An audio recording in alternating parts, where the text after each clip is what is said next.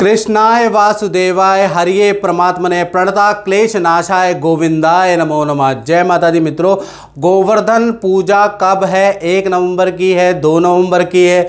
गोवर्धन पूजा का मुहूर्त क्या है? गोवर्धन पूजा कैसे आपको करनी चाहिए इस बारे में इस कार्यक्रम में चर्चा करेंगे। गोवर्धन पूजा को मित्रों, अन्नकूट भी कहा जाता है। कार्तिक महाशुक्ल पक्ष प्रतिपदा तिथि को गोवर्धन पूजा या अन्नकूट की पूजा की जाती है।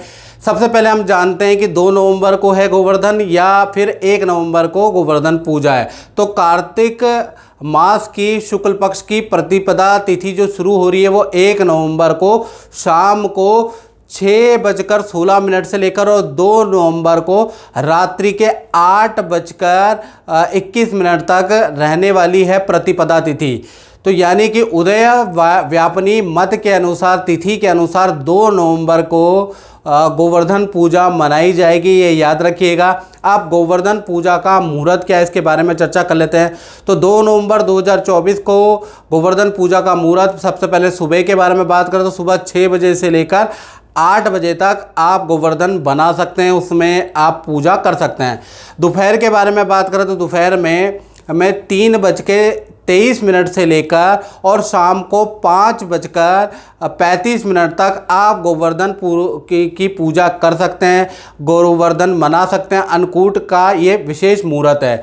इस दिन आपको क्या क्या हो क्या इस दिन क्या किया जाता है इसके बारे में चर्चा कर लेते हैं। गाय के गोबर का गोवर्धन पर्वत बनाया जाता है। कृष्ण भगवान की कुछ लोग मूर्ति बनाते हैं कुछ लोग दीवार के अंदर बनाते हैं गोवर्धन या कृष्ण भगवान की चित्र अंकित करते हैं दीवार पर और भगवान की पूजा की जाती है उनको अन्नकूट चावल का भोग लगाया जाता है। तो गोवर्धन में आपको किस प्रकार से पूजा करनी है, इसके बारे में चर्चा कर लेते हैं। प्रातः काल आपको क्या करना है कि सबसे पहले घर के अंदर गंगा जल से अच्छी तरह से शुद्धि कर ले और शुद्धि करने के बाद गायत्री मंत्र है तो गायत्री मंत्र का उच्चारण करते हुए ओ, या फिर ओम त्र्यंबकम इजा मैं सुगंधि पुष्टिवर्धनम उर्वा रुक में बंदनात् मृत्यु मुख्य मामृता या फिर जैसा मैंने बोला है, कृष्णाय वासुदेवाय हरिये परमात्मने प्रणता, क्लेश नाशाय गोविंदाय नमो नमः। ये मंत्र का जाप करते हुए आप घर के अंदर गंगा जल का छिड़काव करें। फिर प्रातः काल में आपको गाय का गोबर लेना है,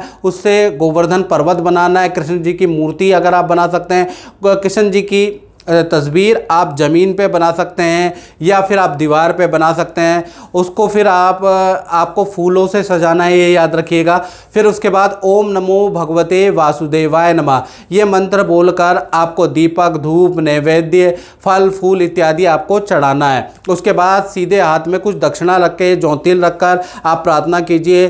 कि मैं ये जो पूजा करने जा रहा हूँ, जा रहे हो तो कृष्ण भगवान जी मेरी पूजा से प्रसन्न हो और हमारे घर के अंदर काम सफल हो। तो इस प्रकार का संकल्प करके आप वहाँ पर छोड़ दीजिए, जो आपने गोवर्धन पर्वत बनाया है और आपने जो कृष्ण जी की गोबर से मूर्ति बनाई है। कुछ लोग क्या करते हैं मित्रों कि पूजा में दोनों चीज़ें बनाते हैं। कृष्ण जी की मूर्ति बनाते हैं और एक उंगली, छोटी उंगली में खड़ा गोवर्धन पर्वत भी बनाते हैं। उसके बाद आपको क्या करना है आपको कड़ी और चावल घर के अंदर बनानी है, उसका भोग आपको लगाना है। साथ ही साथ इस दिन गाय की, बैल की और विश्वकर्मा की पूजा भी होती है। तो वो पूजा भी यदि आपकी फैक्ट्री है, आपकी गौशाला है तो आपको ज़रूर गाय, बैल और कहीं ना कहीं विश्वकर्मा की पूजा ज़रूर करनी चाहिए, यदि आपका अपना काम है तो। साथ ही साथ ओम नमो भगवते वासुदेवाय नमः। ये मंत्र बोलकर आपको जो आपने गोवर्धन बनाया है, जो ज़मीन में बनाया, उसकी सात परिक्रमा आप कर लें, याद रखिएगा।